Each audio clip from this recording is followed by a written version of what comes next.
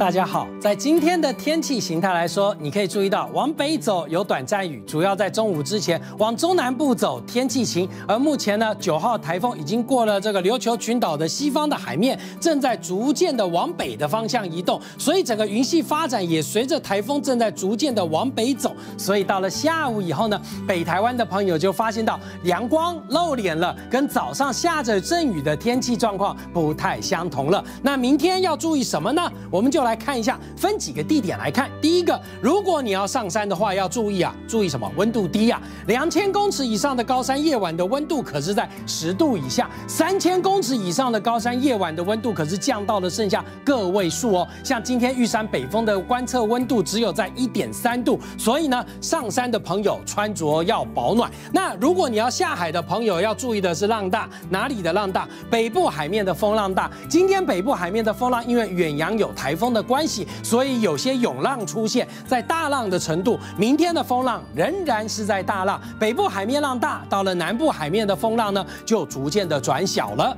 可是你往北走，明天要注意什么？高温的状况，因为阳光出来了，温度上升了，风向已经在今天晚上开始变成西南风吹上来了。北部的温度高，中午热，但是到了南部，西南风上来了，所以呢，明天要外出要备雨具喽，因为开始会有。短暂阵雨在中部以南出现了，我们就来看一下什么。先来看看这张卫星云图了。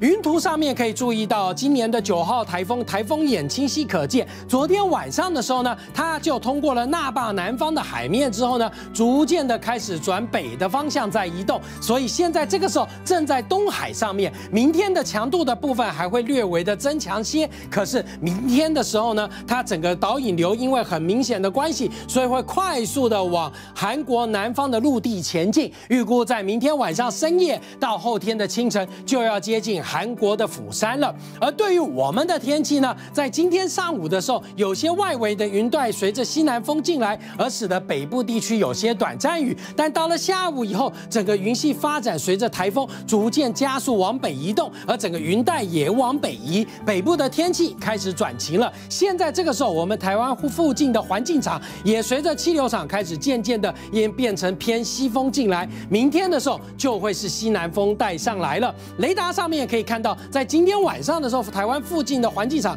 并没有什么云系发展进来，所以今天晚上天气晴，只有在南部地区有些地形性的云层出现在现在在台南地区。可是呢，明天开始呢，随着整个台风加速往北进入到韩国之后呢，我们的风场渐渐的转为偏西南风，西南风就会把南边海面上暖暖湿的水汽带了进来，而造成一些局部性的短暂的阵雨状况在南台湾出现。这样的天气形态。周三、周四周五三天的时间，那太平洋面上其实现在有两个热带系统，一个就是我们提到的九号台风，另外还有一个是低压系统。这个低压现在所在的位置呢，还离我们还蛮遥远的。未来的走向，这个低压系统它将会逐渐的以一个抛物线的方向往北的方向走，它有机会发展。等等到了九号台风上去之后呢，这热低压系统它将会有机会发展起来，但是移动的方向跟路。线来说，未来将会以一个抛物线逐渐朝着日本的九州的方向前进。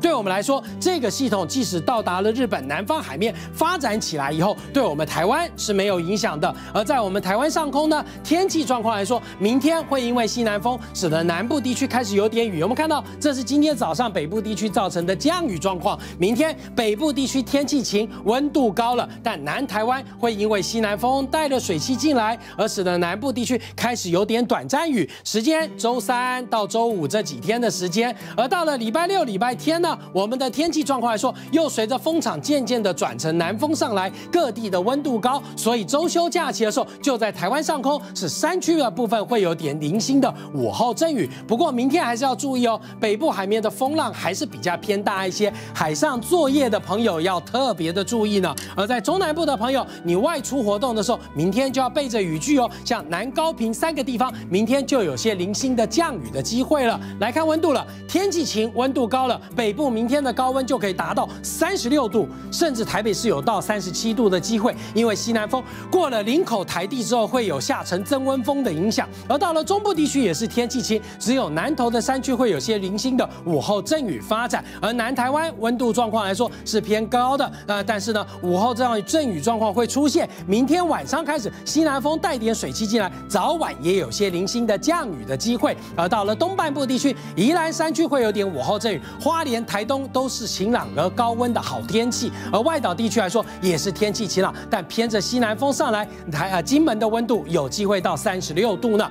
呃，在未来一个礼拜来说呢，周三到周五的时候降雨状况略微增多，礼拜六开始只有零星的午后阵雨，下周一开始也恢复到一个夏季的标准型的天气，而外岛地区来说都回到一个高温的天气。下一套系统对我们台湾来说是没有任何的影响呢，所以要提醒大家特别注意的就在于明天北部海面的风浪是比较偏大的，海上作业的朋友要特别的留意。还有一点呢，就在于中部以南的朋友呢，在明天的时候呢，开始在下午以后渐渐有些阵雨状况出现，所以呢，明天在南部朋友下午以后雨区行车要特别注意安全。